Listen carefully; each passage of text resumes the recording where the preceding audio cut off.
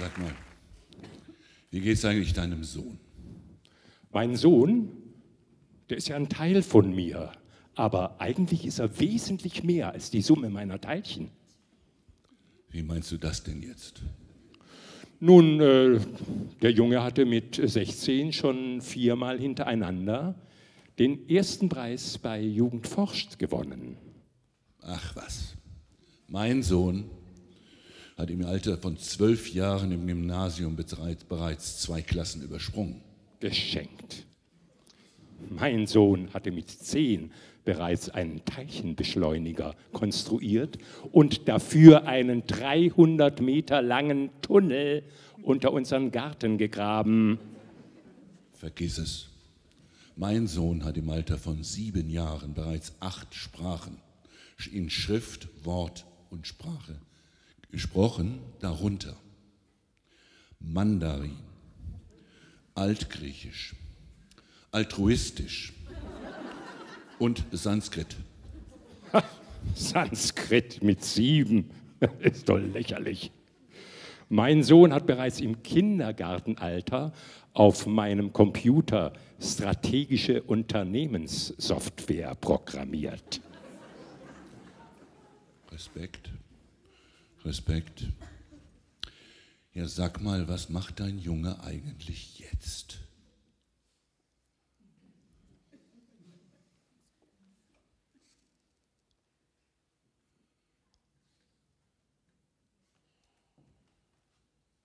Deiner auch?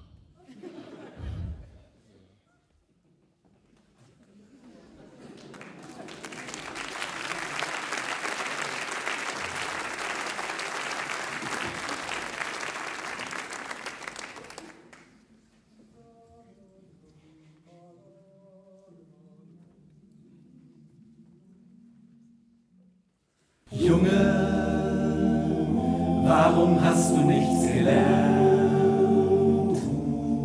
Guck dir den Dieter an, den Dieter, den Dieter, der hat sogar ein Auto, ein Auto, ein Auto. Warum gehst du nicht zu Onkel Werner in die Werkstatt? Der gibt dir eine Festanstellung, wenn du ihn darum bittest, Junge. Und wie du wieder aussiehst, Löcher in der Hose und ständig dieser Lärm.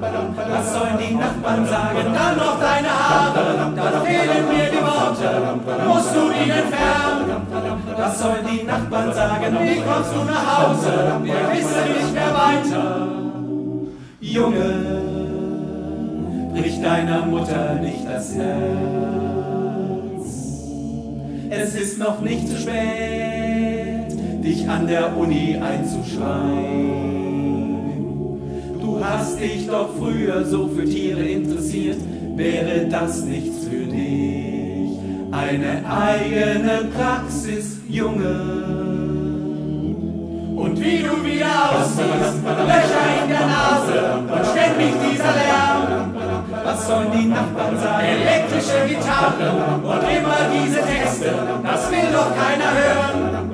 Was sollen die Nachbarn sagen? Wie kommst du nach Hause?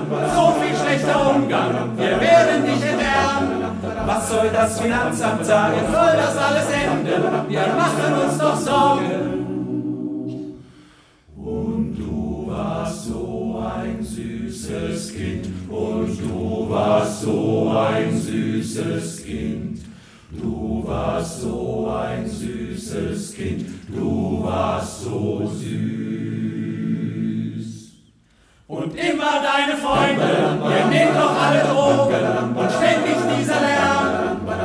Sollen die Nachbarn sagen? Denk an deine Zukunft, denk an deine Eltern. Willst du, dass wir sterben? Und du warst so ein süßes Kind, und